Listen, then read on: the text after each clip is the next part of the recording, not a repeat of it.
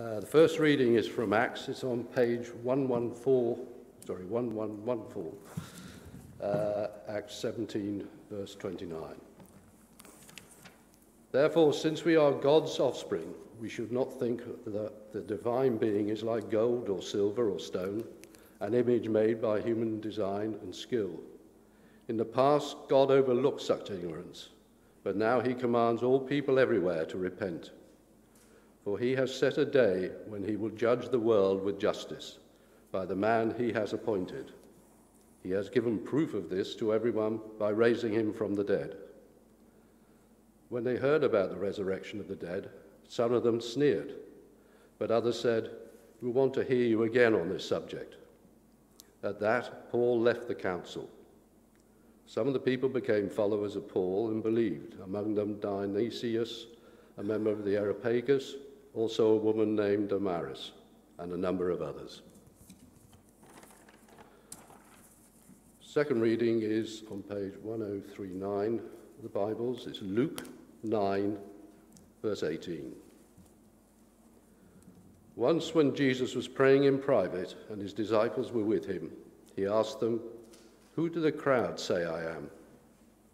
They replied, Some say John the Baptist, others say Elijah and still others that one of the prophets of long ago has come back to life.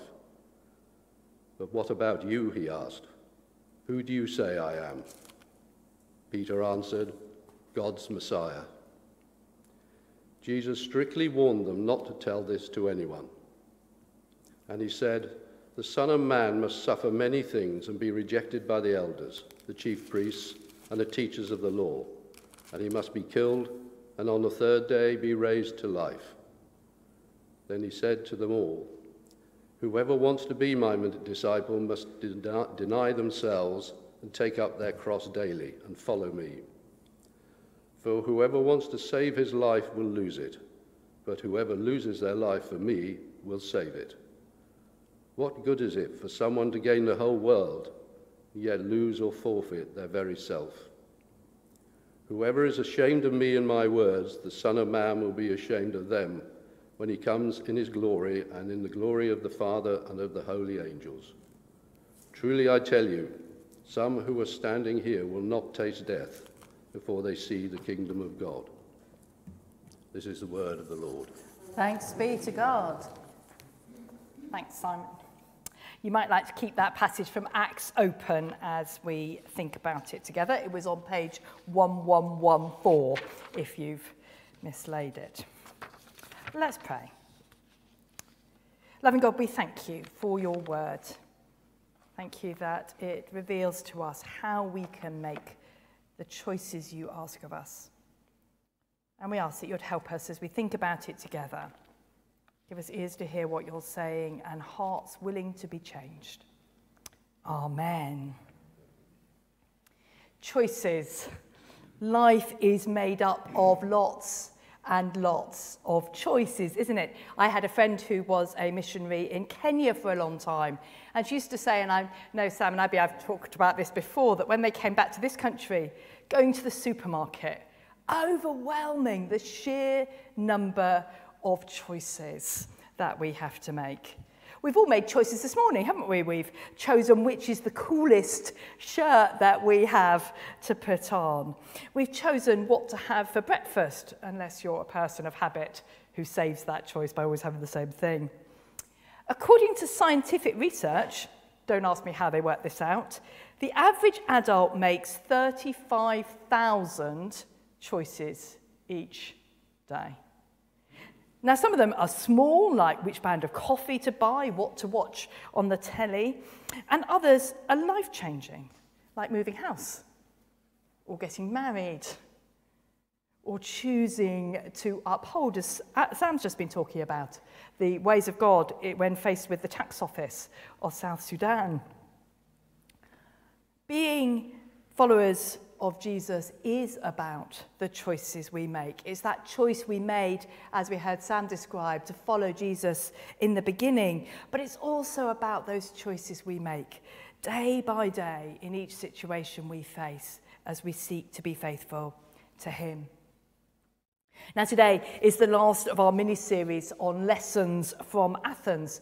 To remind you, we're looking at this passage because it's the one the bishop looked at with the PCCs when they came, and lots of you said, be good to do a bit more thinking on that.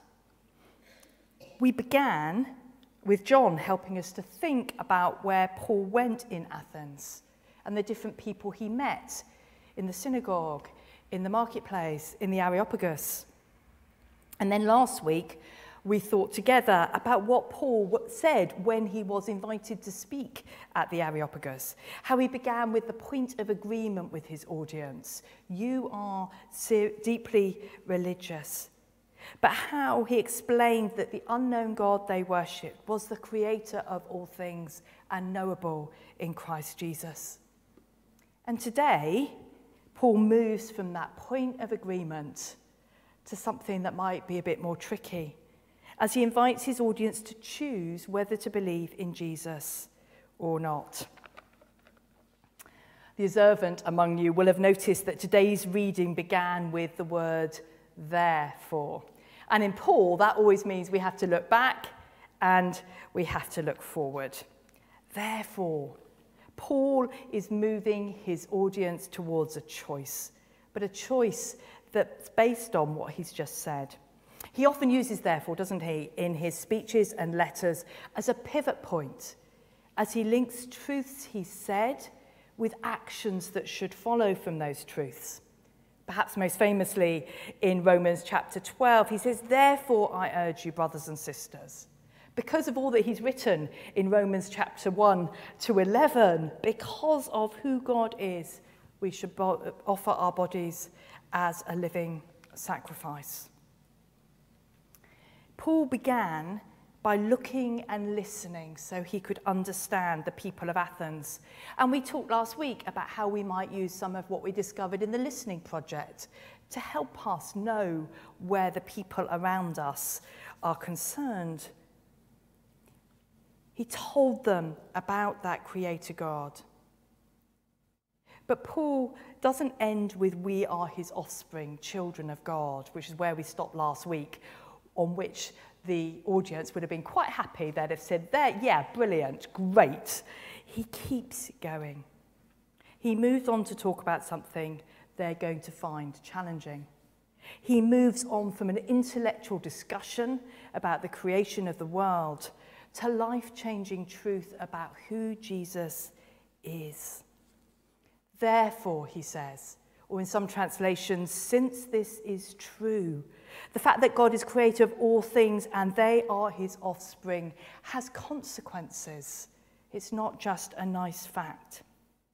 Because God isn't an idol created by people, Paul says, but the creator who lived and died as a man, Jesus.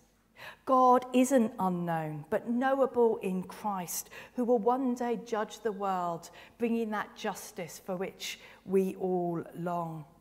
And the proof of all this is the resurrection of Jesus. And therefore, the people are invited to turn away from idols and turn to Him. Therefore, they are invited to repent. I thought it was really interesting in what Sam said, and we hadn't overtalked this, that sin and the barrier, that roadblock, was a big part of his choice. But repentance isn't a very popular idea these days, is it? Certainly not in this country. Recognizing that we got things wrong, saying that we're sorry. We tend to blame others or make excuses. When I was teaching, I'm sure Abby gets this sometimes, the child saying, but their classmates made me do it. Or Dominic Cummings driving to Barnard's Castle to test his eyesight. not only is it difficult for people to say sorry these days, it seems, but of course it's even harder for us to all be doing that bigger step that is repenting. Because repenting is about more than just recognizing what we've done is wrong. It's about turning away from it and trying not to do it again. I always remember when I was a child, uh, my mother, who is a wise woman, but also from Yorkshire, so you don't cross her, would say, okay, you've said sorry. We've had a big argument with my siblings, possibly a little bit of fighting, surely not, over something probably quite trivial. And she said, Okay, if you're really sorry, then don't do it again. Really sorry, next time your sister annoys you, however annoying it is, be kind. Don't thump her. Choose to do something different. And of course, as we all know, repenting isn't something we just do once, is it? We have to do it whenever we stray from God. That's why we, we say the confession each week. That's why it's really good at the end of the day to review the day with God, what's sometimes called an examen, and see where you are thankful and see where we need to say sorry. Because the truth is, folks, that we're works in progress and we will need to keep repenting until the day we die, when then we will become perfect. Repent, says Paul. But of course, repenting isn't quite as hard as we sometimes make it out because the Holy Spirit will help us. The Holy Spirit will change us so that we do things God's way, so that we worship God and not other things, so that we become more like Jesus. It seems to me that the idea that we're sinners, people who think we know best how to live, not God, people who think we can transform ourselves into perfect people, which is what the self help industry tells us, is a stumbling block for many people today in deciding whether to follow Jesus is good news. For Paul's audience, the idea of repenting doesn't seem to have been the crunch point. It's the idea of the resurrection that causes difficulties for his audience. And Paul knew before he started talking about it that it would be a problem because to the Greek mind, the concept of resurrection was both unbelievable and actually quite offensive. Paul may have adapted how he spoke because of his audience, but he's not going to change the message. And the resurrection is a critical part of the message of who Jesus is because it's the proof that he is who he said he is and he can do what he said he can do. So Paul doesn't duck it. And the response to him is mixed, as he knew it would be. Some sneered, some wanted to hear more, and some became followers of Paul and believed. The title I gave today's section of this reading is Time to Choose. We heard about the time that Sam chose whether he was going to follow Jesus or not. For me, it was a mission where someone began where I was, that there's something missing in life someone, as it turned out, and went on to faithfully share the story of how it was Jesus that I was looking for, only Jesus that would fill that God shaped hole in me. I wonder what was the decision point for you to follow Jesus? Maybe it's so long ago you can hardly remember, but we're all here because at some point we made a decision that led us to make the choice that on a hot Sunday morning we'd be sitting in Sunnyside. For me, a bit like with, with Sam, it was the altar call. I'd never been to an altar call before. I'd come from a very traditional Church of England church where I sang in the choir despite not believing a word of it. And the, at the end of the second day at the mission, it was a three day mission, at the sec- end of the second day, the man at the front said, Anybody of you want to make the decision to follow Jesus. And I found myself quite against my better, better ideas, I think, stood there, getting up, standing there. And whilst we were being prayed for, the song, Father God, I Wonder How I Managed to Exist, was playing. So, a song that still has um, an important part for me. But of course, it's not just one choice. As Sam and Abby were saying, it's a series of choices we make each day. And for me, it's Jesus. It's the faithfulness of God that I've experienced over the last mm, 32 years. that's made the costs and the challenges of making the choice to follow Jesus worth doing each and every day. Your decision points will be different. There will have been different ways you came to faith. There'll be different things that keep you making that choice day by day. But whatever it was, there was a point where we had to make a choice.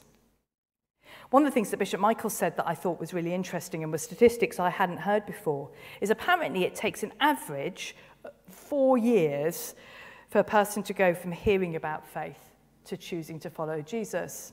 Now, chaps, I'm sorry, it takes you on average five years, us ladies, three years.